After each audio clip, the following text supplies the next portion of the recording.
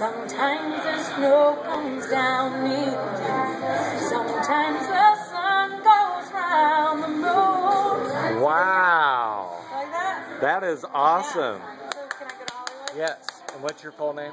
Candace Ritchie. Candace Ritchie. And she's my friend, and I know her, and she's going to be the next X Factor. That's right. Yeah!